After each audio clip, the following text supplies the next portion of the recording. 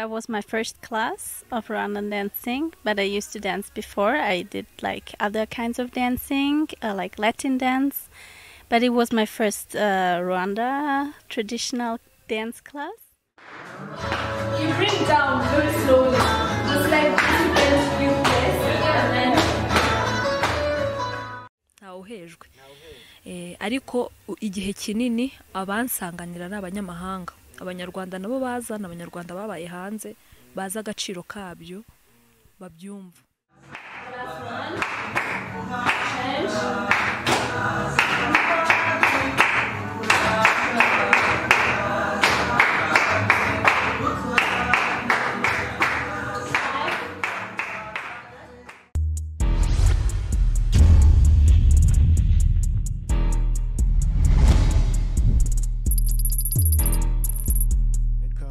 Mbashimire cyane mwese abadukurikirana kuri youtube channel yacu ni ibm tv nizere yuko mukomeje kumererwa neza nizere yuko mukomeje kugubwa neza. Nk'uko rero mwaba muri kubibona ahangaha turi ni kuri kasa keza.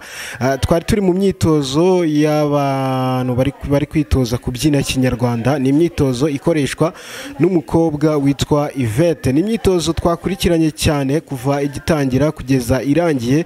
Eh, tubonye yuko ni ibintu byiza nk'uko namwe mwagiye mubibona mwabonaga yuko uyu mukobwa yari afite akazi kenshi cyane arimo arigisha aba bantu arimo abigisha kubyina imbyino gakondo. Nk'uko muri kubireba rero harimo yigisha abazungu akigisha abanyarwanda akigisha abantu batandukanye baba baturutse mu bihugu bitandukanye. Niyo mpamvu rero natwe kuri uyu munsi twamwegereye kugira ngo abashe kuba yadusangiza byinshi ku rugendo rwe rwo kwigisha izi ndirimbo zijyanye n'umuco wacu umuco nyarwanda. Ni imbyino nziza cyane ni imbyino zikundwa n'abantu benshi ariko abantu benshi ntabwo bakunze kugira amahirwe yo kubona aho babyigira cyangwa se aho babyigisha kuri ubu ngubu rero tukaba twabonye umwe mu bakobwa bazobereye mu kwigisha izi mbyino nkaba ndi gakondo. umubyinnyi Eh, natangije rino shuri ryo kwigisha kubyina kubera yuko nabonaga hari ibintu biri kubura ntabwo abantu bigeze babikunda cyane ngo babishishikarire mbona mbitangiye nta- ntacyo byaba bitwaye kuko hari abanyamahanga bifuzaga kubyiga cyangwa se abanyarwanda bifuje kubyiga ariko bakabura aho babyigira banabyishyuriye ndavuga ni byaba byiza mbikoze ko mfite n'iyo mpano yabyo ni byiza cyane hey Hello, hi. how are you I'm very good, thank you. what is your name Andrea. I am from Austria, Vienna. Vienna.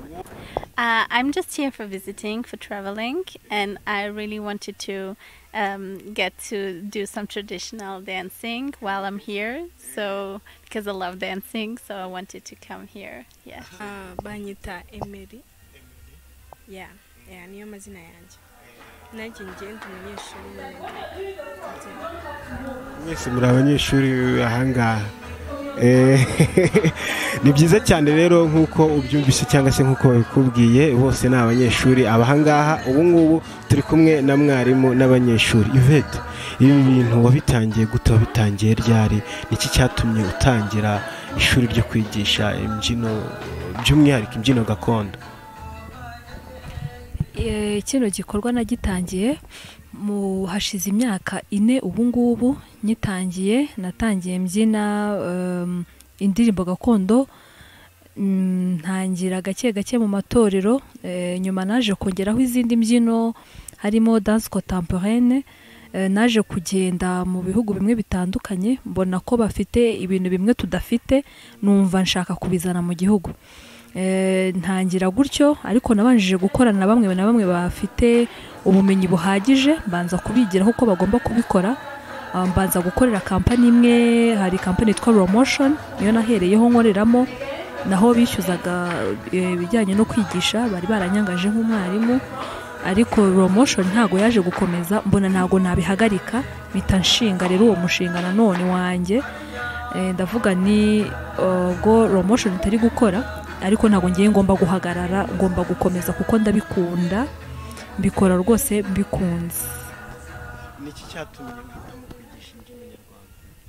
Ikintu cyane gutuma nigisha imbyino nyarwanda ni uko ariyo mbyino niyumvamo neza nahereye kera nkiri mutoya kuko nayitangiye mfite nk'imyaka itandatu eh, nyitangira nyikunze rwose eh, numva mfiteho basic.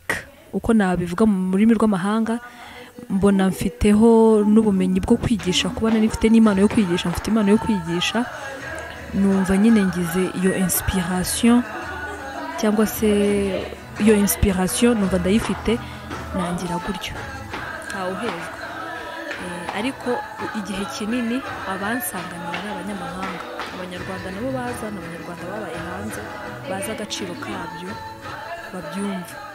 Igituma abanyarwanda batabyiyumvamo ba- ni uko ni ibyabo. Burya ufite ikintu umuntu agirira inyota icyo adafite. Icyo afite aba abona nta gaciro gifite. Ariko babandi babona agaciro k'umuco wacu babona ubwiza bw'imbyino zacu. Iyo turambuye amaboko rwose babona ari ibintu by'ibitangaza bakavuga bati ndashaka kwiga biriya nanjye rebe ko nashobora kubikora. Niyo mpamvu usanga ba- barabikunda cyane.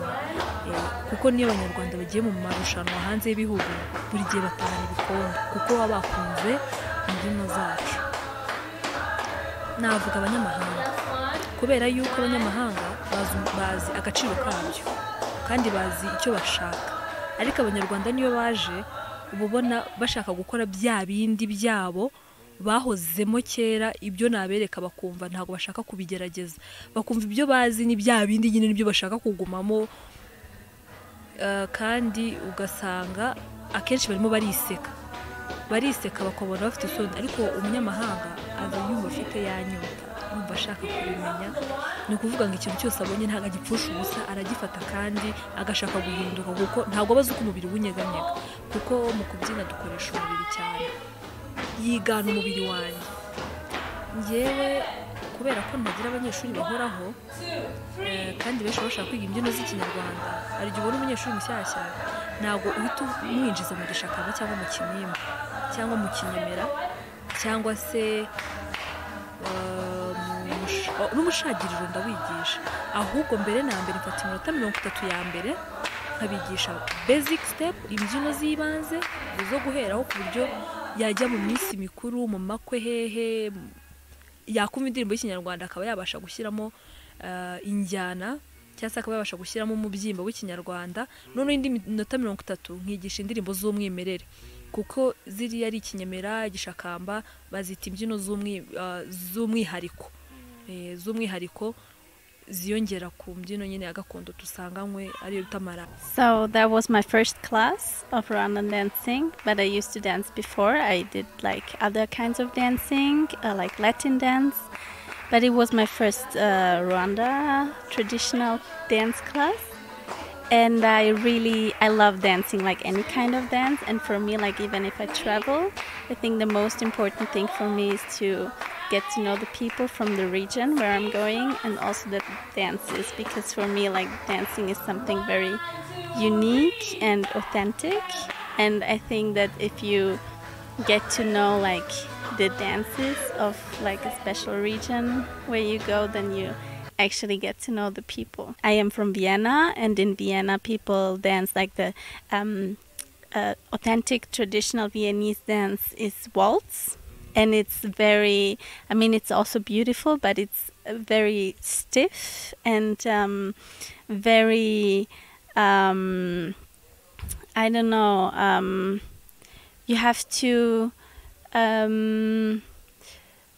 Kind of you know have to know the steps very well and you have to um, feel very comfortable in the ballroom. And I, and I feel that um, in Rwanda especially when you dance it's more you know from the heart that it's like you know from the rhythm deep within you know like you feel the rhythm and it's more authentic and it's more you don't really I mean of course there are rules but you don't really just follow the rules step by step but you have to feel it. Um, njyewe ubusanzwe nkunda taradisiyoneri kuko ndabyibuka kera tukiga muri segonderi bajyaga babinyingingira kubyiga ariko nyine the final ukuntu byagendaga nisangaga ndi kubikunda nkakunda nyine ukuntu bari kubyina ni bwo nagize amahirwe y'ahantu ndi hakaza iveta nyine akamfasha nyine kuba nagerageza kuba nabyiga. Ubwo rero nkurikiza ngenda gutyo nshaka kubimenya.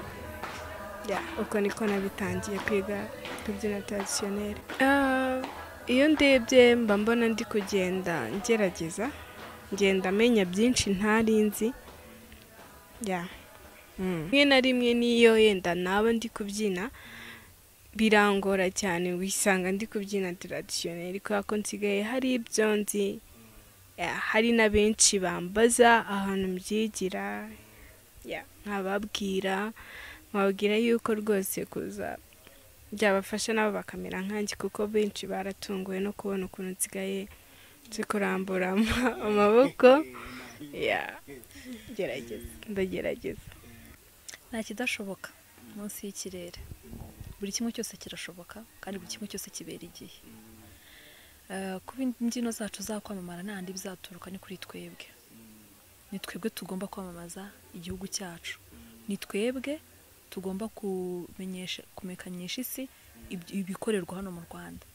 Nta wundi muntu uzaza gutuma ko bamenya kubyina imbyino z'ikinyarwanda nka rwaragwara. Nitutabiha agaciro bizazimira pe. Ariko nitubiha agaciro tukabisansibiriza mu bantu tukabyamamaza nta kabuza. Byagera no ku rwego rwa rundi umuntu wese atabasha Eh, hagati y'imbyino z'ikinyarwanda n'iz'indundi kuko byose narabigerageje. Eh, hari igihe cyageze ntangira kujagarara mu, mbyino za- afurika eh, kubera abantu benshi bakunda kumbwira ko nsa nka afurika nifuje kumenya ibijyanye na afurika n'imbyino zaho kuko nkunda kubyina kandi umubiri wanjye wumva imbyino.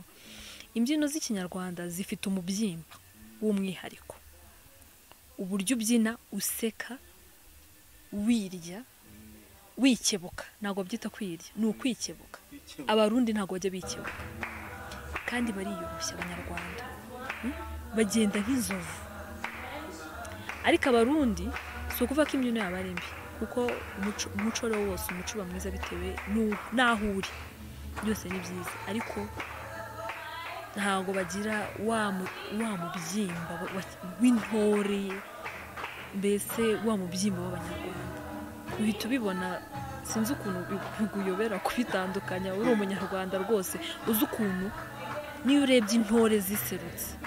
Bambaye imigara simvuze ngo n'abarundi ntibabyambara kuko dufite umuco usa kuko n'ubundi turi abavukanyi turi abavukanyi turi abavandimwe ariko uhita ubibona cyane. Imbyino z'ikinyarwanda nta kavuyo zigira sinzi ukuntu na byo egisipurisinga ariko uba ubona ari ibintu biryoheye ijisho. Uruhare rwanjye ntabwo njya ntabwo njya nshinja cyangwa se ntabwo njya njajinga umuntu ubuzima yahisemo kubamo. Kuko niba mbyina imbyino z'ikinyarwanda nuko nabihisemo. Uriya kuko abyina imbyino zo za ngo ni moderne z'inzaduka ni byo yahisemo. Eh, rimwe na rimwe amahitamo yacu aba meza cyangwa akaba mabi bitewe n'ijisho rikureba. Hari ijisho rikureba wambaye ikariso rikabishima. Hari n'ijisho rizakureba wambaye ikariso kuri social media rikabigaya. Rero umenya uruhande urimo ugakora ibijyanye mbese n'isi ugenderamo. Kuko ntabwo twese dutekereza ibintu bimwe. Sinamugaya sinanamushima nk'uko kubona mbyina ibinyarwanda akanseka. Akavuga ko ndi umukecuru. Ngendana n'ibihe byarangiye kandi ntabwo namuseka kuko yansetse. So my intention is um, not to teach dancing, but I really love to learn different styles of dancing so that when I am dancing myself, I can understand what it really means. Like there are so many different um, styles and origins, and I think in the heart they are all the same. Like in the basics, you know, like when you understand dance, then um, in the basics they are all the same, and it really helps to get to know many different styles of dances to understand dance itself. So my goal is really to improve my own dancing and to um, incorporate you know new moves and just for fun um, but also of course like you know when i go back to my country and you know i i continue dancing then i will try to incorporate it. I will try to promote it. Like if people ask me of course i will tell them but it's not that i'm going to teach it myself. Ah, bishobotse ntanakigisha buriya ntawe umenya isi yamujyana cyangwa yanamugeza. Ariko nyine kare uburyo mbikunda mba numva nzabyigisha just my family usibye ko babizi bamwe ariko mba numva nyine nza ku giti cyanjye nakigisha. Murakaza neza mu ishuri ryanjye. Monday dancing class. Rwanda tradition dance. Monday tradition dancing class. Eh, murakaza neza rwose. Kuko nakira abantu bose b'ingeri zose ari abahungu ari abakobwa ariko by'umwihariko ku bantu batazi kubyina bashaka kubimenya na ba bandi bafite eh, ubumenyi bukeya bashaka nko kwinjira mu matorero. Nta kindi rero gisabwa kuza muri classe yanjye. Eh, ni ukwishyura ibihumbi bitanu ku isaha imwe. Hano kasa keza ni kacyiru iri munsi ya minagiri iruhande rwa sako. Murakaze neza muzaze mushyigikire umushinga wanjye watangije mushyashya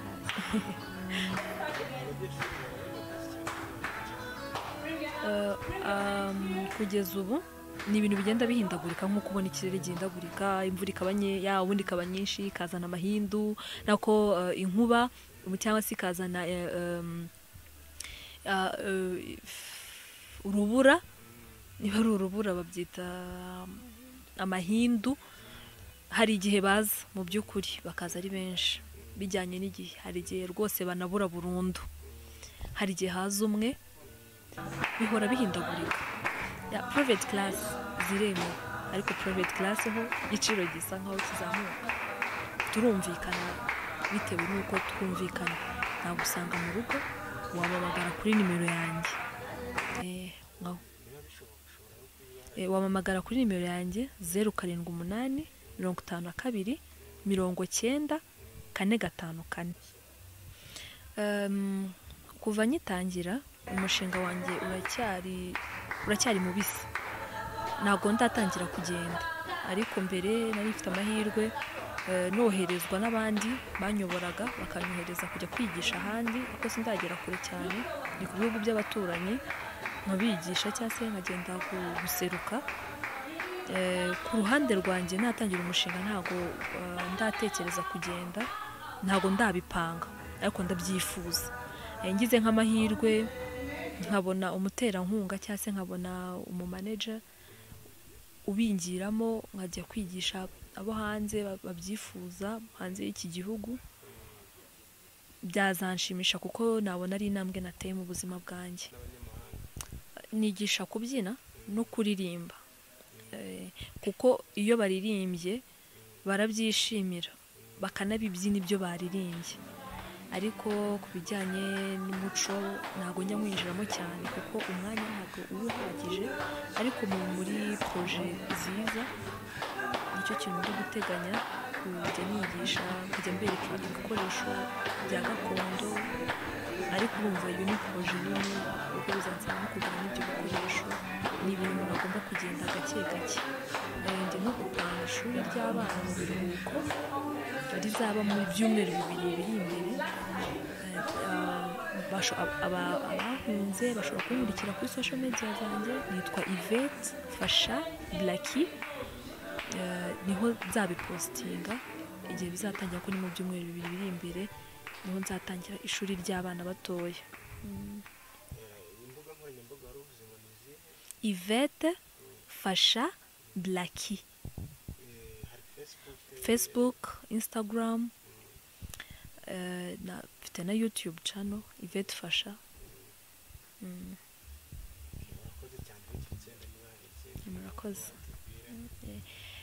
Ikintu nababwira ni uko rwose mukunda umuco wanyu igihugu kibuze umuco kiratakara muze munshyigikire ni cyo kintu nabifuriza rwose murakoze cyane kandi ndabakunda abanyarwanda muri rusange n'umuyobozi wacu ndamukunda kuko ni we utuma ibi byose tubigeraho kuko turi mu mahoro.